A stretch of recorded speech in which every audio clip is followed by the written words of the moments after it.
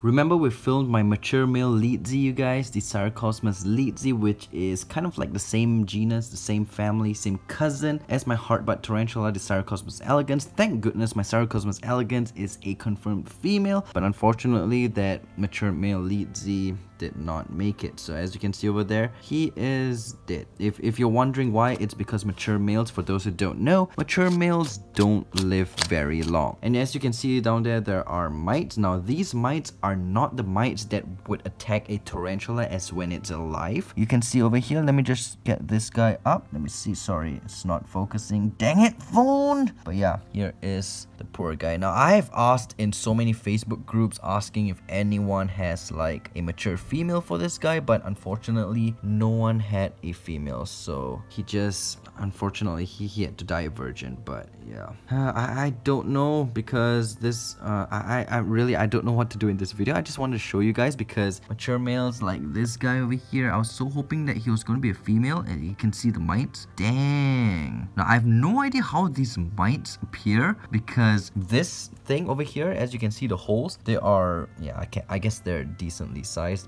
But really, I don't know how the mites came because the tarantula was in here like perfectly fine without any mites. And I never introduced any mites. I never fed anything to it with mites. It just, every time when a tarantula dies in my hands, they'll just the next day be covered in these weird looking mites, which I am not quite sure how they come. Like, look at this guy over here. He is like, I want to squish a mite. I want to just squish one and see what, oh, ugh, yep, there we go. I just squished a mite.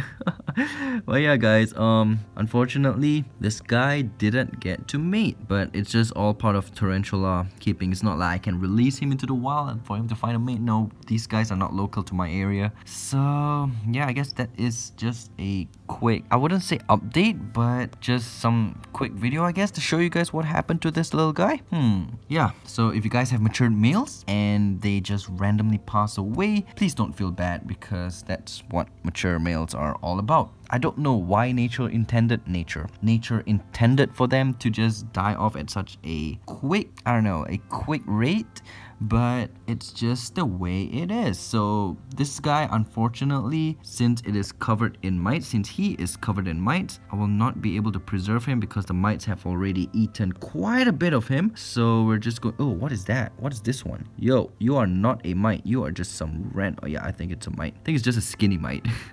but yeah, wait, is alive? Oh, uh, I, thought the tarantula was still alive. But no, you guys, this is, yeah, it, let me, let me just smell it. Yep, no smell, you guys, no smell. So this guy, he probably passed away like yesterday and today it's just full of mites. So unfortunately, I will not be able to preserve him because like I mentioned, the mites have already eaten like almost all of his body. Like probably all the meat inside are all gone. But if I found him dead earlier without before the mites all came, then I would probably have preserved him as a wet specimen. But unfortunately, because the mites are here, I'm not able to do that. And also because I'm kind of a little bit bummed because it is pretty rare to find a Cyriocosmus leetzi over here and the one that I got became a matured male and just died. And also I'm also bummed because I am not able to preserve my only leetzi because these mites, like seriously, how the hell, where do they come from? Like I keep this in my room, like in my room and my room is free of mites. Like these guys, they just they just appear out of nowhere. Like look at the substrate. It is literally like mite free, right? Mite free. I mean, if you look at that, then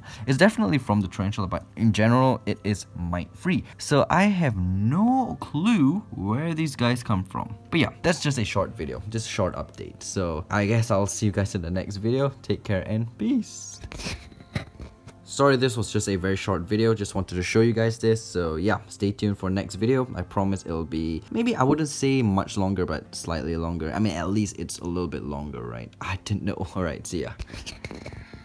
and also sorry for the lighting because I mean I apologize for that for almost all of my videos because I'm using my iPhone 7 and uh yeah I'm gonna be using my iPhone 7 bye I guess I'll just toss this, I mean, in the bin because, I mean, like I said, no use for me. Yeah, I can't preserve it. I literally, I can't do anything with this tarantula, so I guess I'll just toss it into the box over here and just throw it out later. See you, dude. And then I will use this container for another sling in the future, I guess.